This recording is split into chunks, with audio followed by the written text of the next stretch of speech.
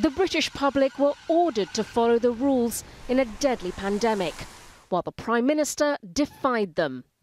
They stayed away from the beaches and the streets, only to find that those setting the rules were breaking them. You must obey the rules. As the country retreated into lockdown under government orders, Boris Johnson insisted that no restrictions were broken. But more and more COVID rule breaking by government officials was leaked and splashed across the front pages. The public learning of weekly wine evenings and boozy leaving dues. One bash was on the eve of Prince Philip, the Duke of Edinburgh's funeral, with the country in national mourning and Queen Elizabeth forced to sit apart from her family. Downing Street was forced to issue a statement of deep regret to Buckingham Palace. Mr. Speaker, I want to apologise. And Johnson personally apologised for attending a drinks party in the Downing Street garden. He thought it was a work event, he said, and within government rules. Is he now going to do the decent thing and resign?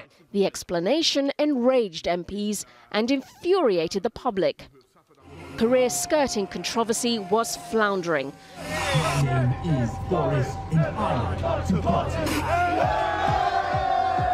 Ridiculed by a wine bottle wielding flash mob outside Downing Street. We're, we're witnessing every day the broken spectacle of a Prime Minister mired in deceit and deception and unable to lead. But things were to get even worse for Johnson, with claims he had a surprise birthday bash complete with cake at number 10 during lockdown.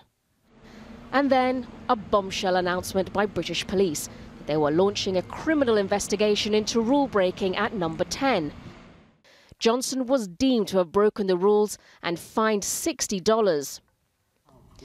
A month later, the report by top civil servant Sue Gray made its findings public.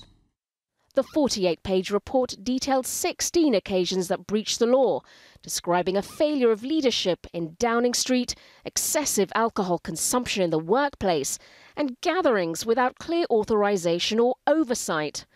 Some behaviour, she said, was difficult to justify against the backdrop of the pandemic.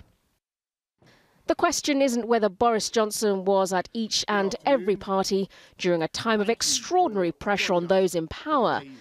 It's about a tone of frivolity that his leadership set, undermining the most serious office in the country at a time of national crisis. Very good. Sonia Gallego, Al Jazeera, London.